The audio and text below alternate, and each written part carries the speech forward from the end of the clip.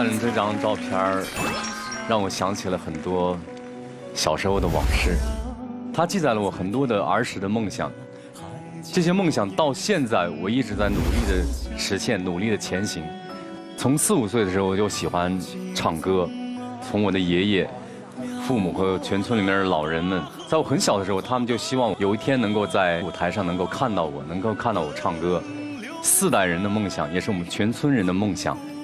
我的根就在这座老房子里面，永远不要忘了自己的根在哪里。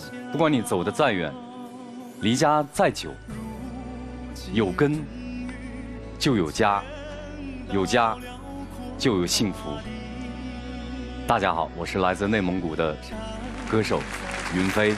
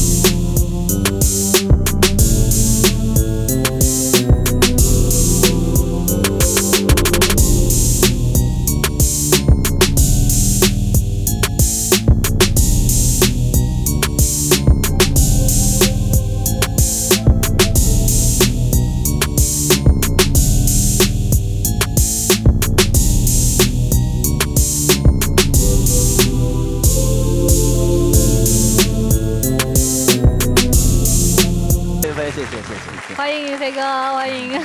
这个刚刚啊，这个云飞啊一上台，我觉得歌声非常好，那大家都知道。是关键是他说话的声音也特别好听，哎，真的。专门锻炼过这种说话的声音吗？我是以前学歌剧，啊，然后我们老师也会经常会也也会让我们朗诵朗诵的，啊对，嗯。今天咱们每张照片都有歌的痕迹，对这样你可以说，也可以唱。行，如果你觉得说得好，你就说；如果你觉得说不足以表达，你就可以唱，好不好？行那这样咱这个云飞来了，咱们坐下来跟云飞好好聊一聊，好吧？好，行，今天啊，我们请到了我们的著名的歌手云飞啊，我们来看一看他关于家有什么样的故事。是。这个莎娜今天找到了什么样的照片啊哎？呦，就刚才我们大兵出的那一张照片，嗯这个你挺时尚啊，这裤子上面还有这是两只什么小白小小猫吗？还是小狗？吧，小狗，因为这裤子是是我姐姐她们剃下来，嗯然后我妈给给我改装的，正好这个这个地方裤这儿有两有洞破了，这磨破了。我妈自己拿了布绣两个小狗，然后给贴上去。